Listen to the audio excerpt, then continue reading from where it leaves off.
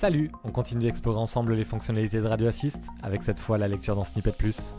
Comme vous le voyez, j'ai chargé au préalable un son et pour le lire c'est très simple, je n'ai qu'à cliquer sur le bouton play qui est juste là. La lecture se lance et si je veux l'arrêter, je n'ai qu'à cliquer sur le bouton stop qui est juste à côté.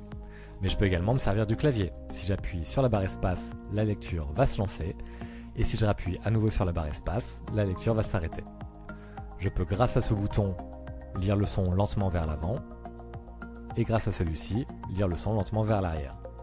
Si j'appuie sur ce bouton, la lecture va s'effectuer rapidement vers l'avant, et sur celui-ci, la lecture va s'effectuer rapidement vers l'arrière.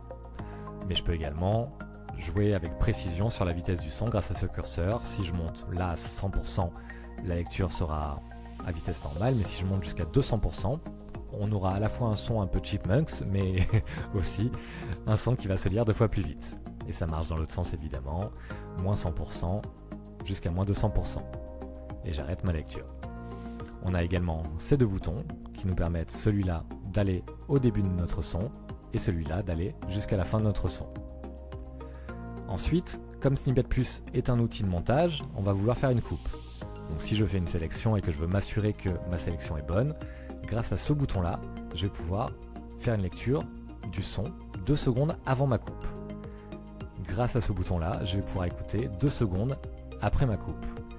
Et celui-ci va me permettre d'écouter le son 2 secondes avant ma coupe et aussi 2 secondes après ma coupe.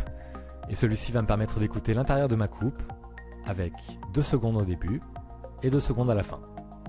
Simple, basique.